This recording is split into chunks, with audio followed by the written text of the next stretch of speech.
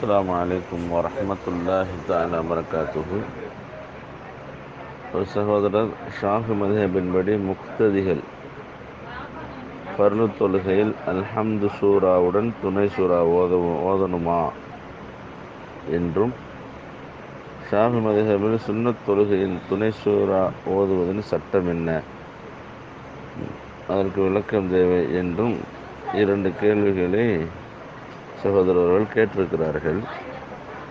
அன்பு சகோதரர் அவர்களே ஷாஃபி மதகபின் பிரகாரம் பருள தொழுகையிலே ஃபாத்திஹா சூரா மட்டும்தான் ஓத வேண்டும். துணை சூரா ஓதக்கூடாது.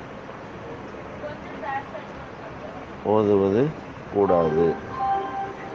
அதுபோல சுண்ணத் தொழுகையில்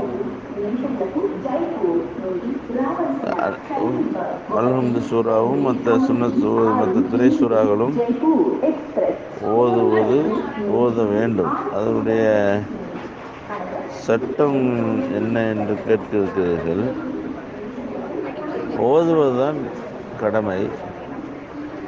அதில் என்ன சட்டம் இருக்கிறது?